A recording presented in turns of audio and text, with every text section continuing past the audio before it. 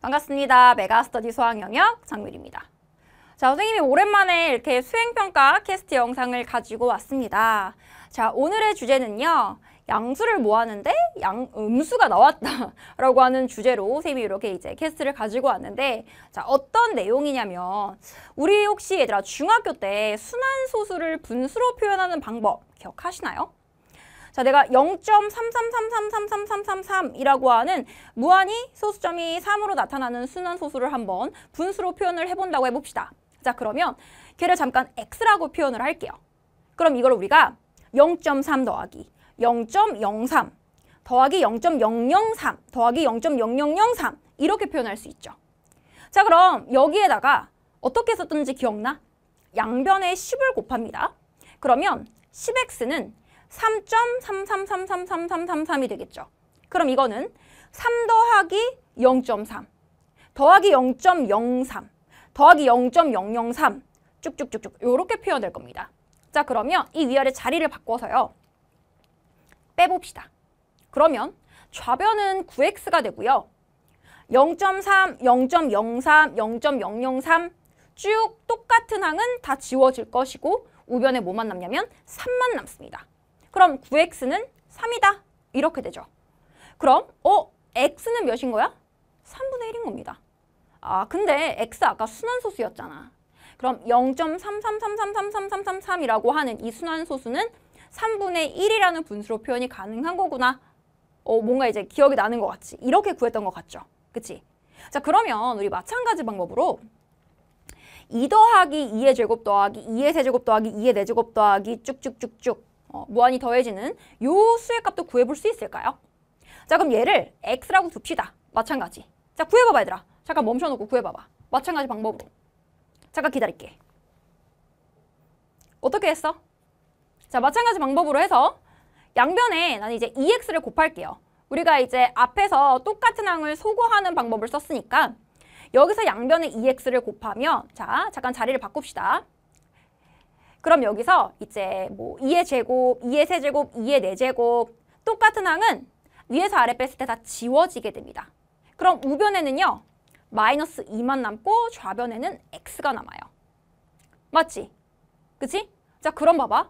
어? x가 마이너스 2라는 거는 즉 방금 내가 얘기했었던 x로 뒀던 2 더하기 2의 제곱 더하기 2의 세제곱 더하기 2의 4제곱 더하기 쭈르륵 무한히 더한 이 값이 마이너스 2와 같다라는 거네.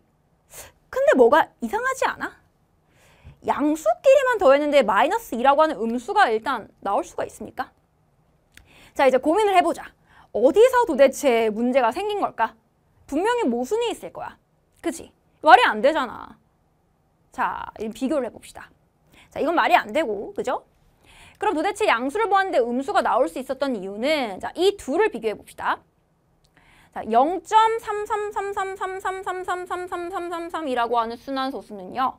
자, 얘를 좀 뜯어보면 0.3 더하기 0.03 더하기 0.003 더하기 자, 무한히 계속 더하는 수가 점점 작아지고 있어요.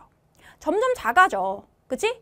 소수점이 하나씩 이제 뒤로 밀리니까 계속 작아지는 수를 더하다 보면 언젠가는 결국 0에 가까운 수만 더해지게 될 거야. 그러면 우리가 이 순환소수는 사실 어떤 특정한 값에 한없이 다가가고 있다고 볼 수 있는 거야. 왜냐면 계속 더하다 보면 거의 0에 가까운 수만 더해지게 되는 거거든.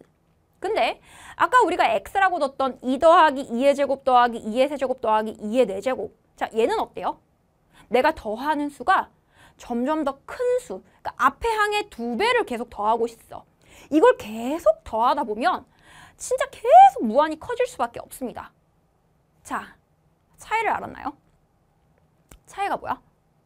자, 위는요. 어떤 특정한 값에 한없이 다가가고 있어. 결국 어떤 결과가 존재하는 값이고요. 아래에 있는 값은요.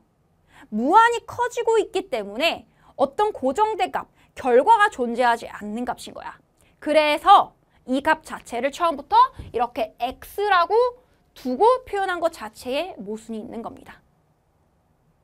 이해 갔어? 자, 모순이 찾았나요? 어디서 문제가 생겼는지? 자, 이 내용은요.